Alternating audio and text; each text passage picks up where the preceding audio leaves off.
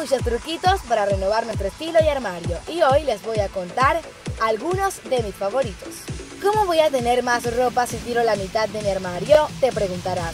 Pues la respuesta es sencilla, siendo sincera y deshaciéndote de la ropa que realmente no te pondrás, nunca tendrás más claro lo que sí te pones y tu armario será real, no algo lleno de ropa que no te pones por cualquier excusa. No tires a la basura la ropa o complementos que no utilices. Practica el do it yourself. Es la última moda en internet, que no tienes algo, pues te lo fabricas. Saca las manitas que llevas dentro y customiza jerseys con tachuelas, bolsillos estampados, añade coderas, pega tijerazos, lo que se te ocurra.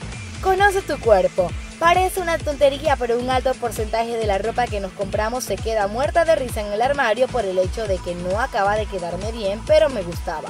Haz una lista de lo que realmente necesitas. Tras la limpieza de armario, párate a pensar cuáles son esas prendas básicas y todo terreno que de verdad necesitas en tu armario. Te ayudará a tener un objetivo más claro, a definir tu estilo y a evitar desperdiciar el dinero. Inspírate. Mi principal fuente de inspiración son los blogs y webs de moda, gratuitos y llenos de ideas sobre cómo combinar y dónde encontrar. Y es que son las pequeñas cosas las que marcan la diferencia.